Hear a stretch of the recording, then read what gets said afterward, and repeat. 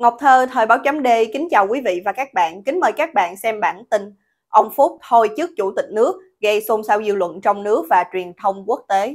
Báo Thanh niên chiều hôm 18 tháng 1 loan tin. Quốc hội Việt Nam đã họp kỳ bất thường lần thứ ba để xem xét công tác nhân sự thuộc thẩm quyền. Với 465 trên 482 đại biểu bỏ phiếu tán thành, Quốc hội đã thông qua nghị quyết về việc miễn nhiệm Chủ tịch nước nhiệm kỳ 2021-2026 cho thôi làm đại biểu Quốc hội khóa 15 đối với ông Nguyễn Xuân Phúc. Cũng theo bài báo này, trước đó vào ngày 15 tháng 1, ông Phúc đã trình đơn xin thôi giữ chức vụ Chủ tịch nước, Chủ tịch Hội đồng Quốc phòng an ninh, thôi làm nhiệm vụ đại biểu Quốc hội khóa 15, nghỉ công tác và nghỉ hưu. Hình ảnh bài viết Quốc hội miễn nhiệm Chủ tịch nước Nguyễn Xuân Phúc trên báo Thanh niên. Trong khi đó, dư luận Việt Nam trong vài tuần trước Tết Quý Mão lại rộ lên nhiều tin đồn về sự thay đổi cao cấp khác ngoài việc loại hai ông Phạm Bình Minh và Vũ Đức Đam mà họ tin rằng sẽ xảy ra. Thực tế đã chứng minh những gì thông tin lan truyền trên mạng xã hội hoàn toàn chính xác. Liên tiếp những cuộc thanh trừng nội bộ đã khiến chính trường Việt Nam sôi động đến nỗi truyền thông quốc tế hôm 18 tháng 1 cũng tràn ngập các bài bình luận quanh sự kiện này. Theo nhận định của trang Nikkei Asia đưa ra trong bài báo ngày 18 tháng 1 với việc ông Phúc, nhân vật đứng hàng thứ hai trong ban lãnh đạo Đảng Cộng sản Việt Nam từ chức, Tổng bí thư đảng Nguyễn Phú Trọng đã củng cố thêm quyền lực chính trị của mình. Trong khi đó, bài viết trên báo The Guardian trong ngày 17 tháng 1 dẫn lời ông Lê Hồng Hiệp, một thành viên tại Viện Nghiên cứu Đông Nam Á, cho rằng việc ông Phúc từ chức cũng có thể liên quan đến đấu đá chính trị. Sự từ chức đột ngột của ông Phúc là một động thái bất thường ở Việt Nam, nơi những thay đổi chính trị thường được dàn dựng cẩn thận, thận trọng và chú trọng vào sự ổn định. Hình ảnh bài báo trên tờ The Guardian bình luận về sự kiện ông Phúc từ chức. Trong bài, Chủ tịch Phúc rời chức giữa nhiệm kỳ gây chấn động đảng và lòng dân. Tờ báo VOA tiếng Việt cho biết ý kiến của ông Nguyễn Hữu Vinh, nhà báo tự do được biết đến với bút danh Ba Sàm, Vụ Việt Á là khổng lồ chưa từng thấy trong lịch sử đất nước và cũng chưa từng thấy trên thế giới trong suốt thời gian đại dịch. Nên ông dự đoán dưới tảng băng đó là rất nhiều điều ghê gớm, đem đến hậu quả suốt một năm nay. Người ta đang đợi một vị trí rất to bị lật đổ, ông Vinh cho biết. Việc Ban chấp hành Trung ương họp bất thường liên tiếp hai lần trong thời gian chưa đầy một tháng cùng với quyết định cho thôi ba vị trí quan trọng hàng đầu trong bộ máy chính quyền là điều hiếm hoi Đặc biệt hơn, việc đốn ngã một trong tứ trụ của triều đình đã đánh dấu nhiều cái đầu tiên duy nhất trong lịch sử đảng Cộng sản. Ông Nguyễn Xuân Phúc là vị nguyên thủ quốc gia đầu tiên phải thôi chức trong khi nhiệm kỳ còn đang gian dở. Với vai trò là chủ tịch nước, ông ở vị trí lãnh đạo cao cấp chỉ đứng thứ hai, ngay sau ông Tổng bí thư Nguyễn Phú Trọng. Ông cũng là người duy nhất của lịch sử Việt Nam giữ hai chức vụ thuộc tứ trụ là Thủ tướng Chính phủ nhiệm kỳ từ 2016 đến 2021 và sau nữa là chủ tịch nước từ 2021 đến nay. Ông là một trong hai trường hợp đặc biệt dù đã quá tuổi nhưng đại hội đảng vẫn quyết định cho tiếp tục giữ chức vụ trong Ban chấp hành Trung ương và Bộ Chính trị khóa 13. Hình ảnh kỳ họp bất thường thứ ba của Quốc hội khai mạc chiều 18 tháng 1. Những đồn đoán về người thay thế vị trí của ông Phúc cũng là chủ đề nóng trên mạng xã hội và truyền thông nước ngoài.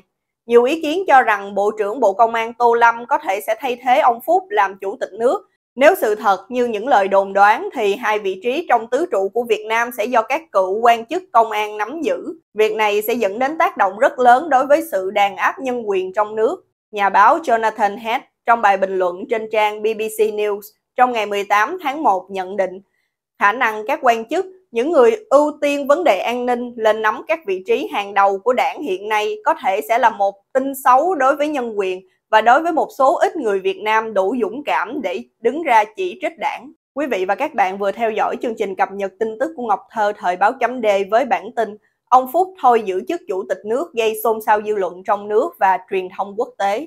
Quý vị và các bạn hãy chia sẻ video này để nhiều người cùng biết cũng như bấm nút đăng ký kênh YouTube và Facebook của Thời báo chấm D để được cập nhật những bản tin mới nhất, nhanh nhất và trung thực nhất.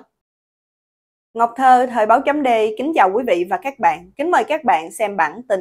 Báo chí thế giới vẫn tiếp tục quan tâm vụ hai phó thủ tướng Việt Nam bị bãi nhiệm. Sự việc hai phó thủ tướng Việt Nam Phạm Bình Minh và Vũ Đức Đam bị cách chức vẫn còn nóng trên diễn đàn và báo chí quốc tế vẫn tiếp tục quan tâm và bình luận. Ngày 17 tháng 1, VOA tiếng Việt có bài viết Hai phó thủ tướng được cho nghỉ khuất tất đằng sau. Bình luận về sự kiện này Hình ảnh bài viết trên trang VOA tiếng Việt. VOA đặt câu hỏi, bị thanh trừng hay tự xin nghỉ? Nguyên nhân là gì? Tại sao quy trình của đảng và quốc hội miễn nhiệm hai phó thủ tướng và bổ nhiệm người mới lại diễn ra nhanh gọn như vậy? Hai vị phó thủ tướng đã phạm sai lầm gì đến mức bị bãi chức? Theo VOA, hồi tháng 10 năm 2022 đã từng có một hội nghị bất thường tại hội nghị này. Ba ủy viên trung ương đã bị thanh trừng. Đó là các ông Nguyễn Thành Phong, Huỳnh Tấn Việt và Bùi Nhật Quang. Họ được đảng nói rõ là đã có sai phạm gì, khuyết điểm gì và bị kỷ luật thế nào, rồi mới cho ra khỏi trung ương. Tuy nhiên, với hai ông Phạm Bình Minh và Vũ Đức Đam, đảng lại không hề nói rõ là nguyên nhân gì. Thông báo phát đi của Trung ương Đảng và Quốc hội đều cho rằng việc này là xét theo nguyện vọng cá nhân của hai ông Minh và Đam. Tại kỳ họp Quốc hội để bãi nhiệm hai ông Minh và Đam còn được Chủ tịch nước Nguyễn Xuân Phúc tặng hoa và ca ngợi công lao.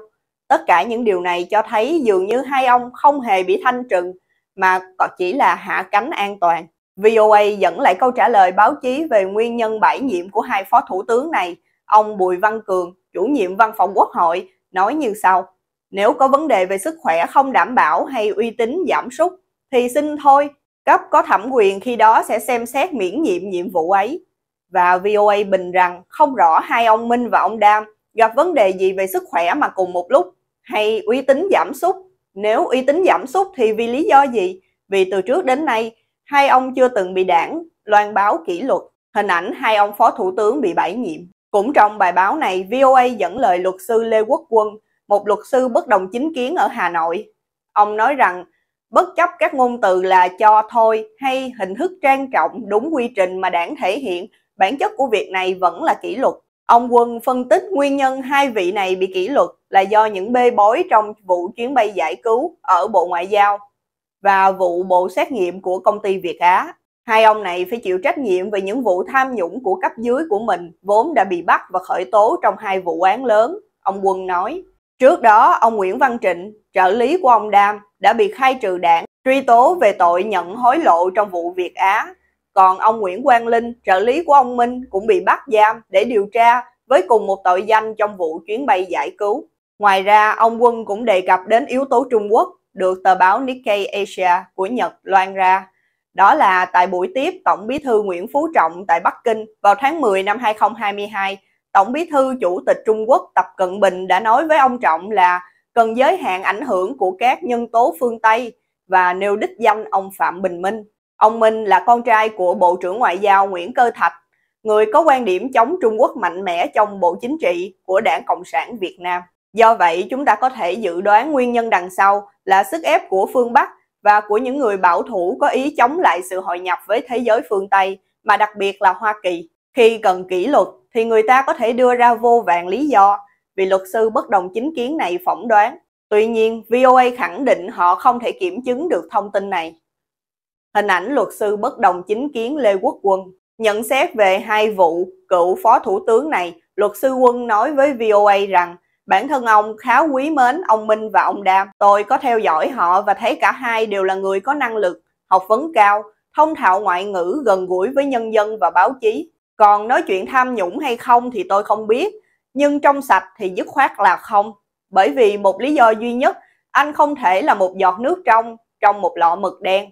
Ông Quân nói thêm. Ông chỉ ra vai trò rất lớn của ông Đam trong việc hội nhập cùng ASEAN khi còn là vụ trưởng vụ ASEAN và sau này là thư ký riêng của Phó Thủ tướng Võ Văn Kiệt. Tôi nghĩ ông Đam có ảnh hưởng lớn từ tinh thần đổi mới và vì dân của ông Kiệt. Riêng ông Phạm Bình Minh thì tôi nhận thấy rõ vai trò của Việt Nam đang lên, được ngồi vào nhiều ghế quan trọng của Liên Hiệp Quốc như là ủy viên không thường trực, giờ lại là thành viên của Hội đồng Nhân quyền. Mặc dù Hà Nội vẫn gia tăng đàn áp nhân quyền mạnh, Điều này chứng tỏ sự lèo lái về ngoại giao của ông ấy tốt. Vị luật sư này phân tích. Quý vị và các bạn vừa theo dõi chương trình cập nhật tin tức của Ngọc Thơ thời báo chấm D với bản tin Báo chí thế giới vẫn tiếp tục quan tâm vụ hai phó thủ tướng Việt Nam bị bãi nhiệm. Quý vị và các bạn hãy chia sẻ video này để nhiều người cùng biết, cũng như bấm nút đăng ký kênh YouTube và Facebook của Thời báo chấm D để được cập nhật những bản tin mới nhất, nhanh nhất và trung thực nhất. Ngọc Thơ, Thời báo chấm D